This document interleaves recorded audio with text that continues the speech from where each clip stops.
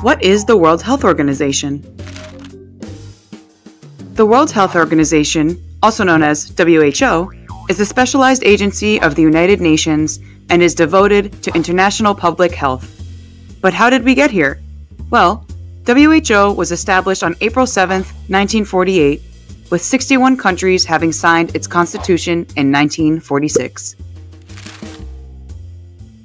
It is now headquartered in Geneva, in Switzerland, and operates through offices in over 150 countries.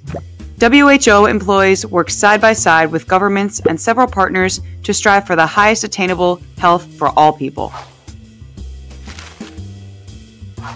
But how does the World Health Organization pursue that goal? WHO provides leadership, shapes the research agenda, and sets and promotes health norms and standards.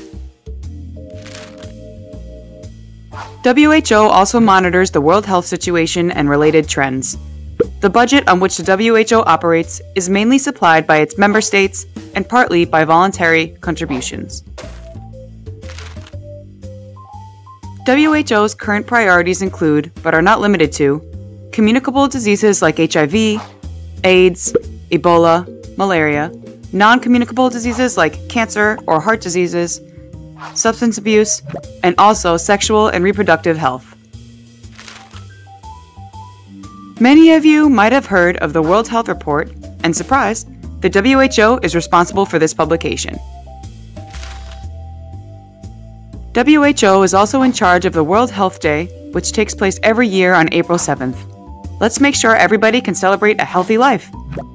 Find more information on who.int.